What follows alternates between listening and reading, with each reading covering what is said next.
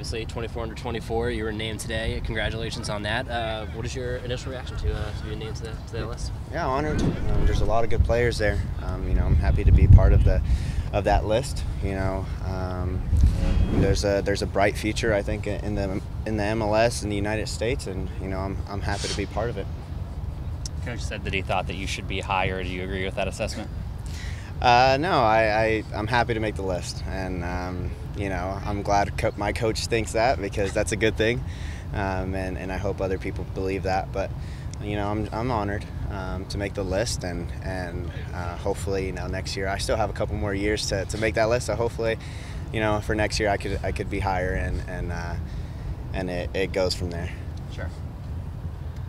Jordan's on the list too, obviously, and he uh, set the uh, I think rookie record for game MLS rookie record for game winners. It's just like kind of cool for you to see the young guys progressing and getting these milestones and getting named to these accolades and all that.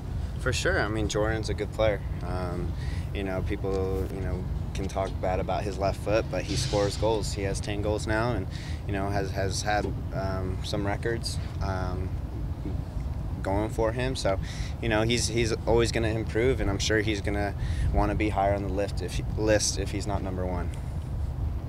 And uh, Lodeiro talked after the game how he told he predicted that Jordan was going to score before the game, and he told him that. Do you remember a time in your career where you predicted something similar within a teammate or anything like that? Uh, yeah, I actually predicted um, on Friday that my brother was going to score the game winner. Um, he he scored a free kick. Um, I didn't expect him to score a free kick, but um, no, I, I, definitely predicted him to score, and you know he, he proved me right. Um, my parents are here, so it was, it was awesome to see that. It's been a big uh, big part of your, your year of jumping forward, getting on lists like that, becoming a, a, cemented starter. What's been kind of the key for you to get to that point?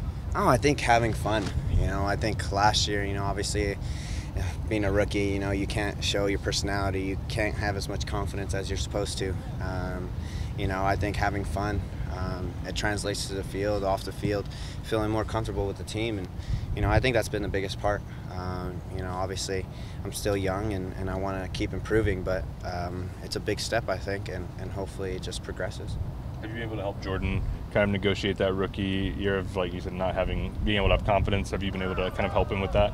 Yeah, no, I think we're in different situations. I think Jordan, you know, is, is um, has done a lot better than my rookie season, but and then a lot of other rookies as well. So, um, but you know, I think from the first five games on, you know, he's he's uh, brushed off any any type of pressure that he's had.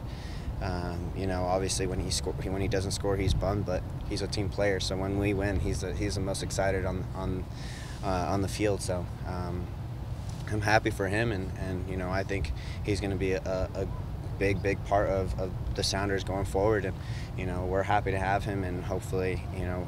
Um, you know our relationship stays the same. You know, with with the coaching staff and everything. With you being a UW guy and him being a Stanford guy, is there ever any trash talk related that way, or do you guys keep it pretty lighthearted? Or? oh, I think uh, I don't think I have to talk smack to him about our college days. Um, you know, I think uh, I've gotten his number uh, in college, and um, you know I have one accolade, you know, on on top of him, and um, that's probably the only thing I, I have going going for me. So uh, no, uh, it's all fun and games when we talk about college and um, and how we did, um, but you know we're we're happy to to have him on the team for sure.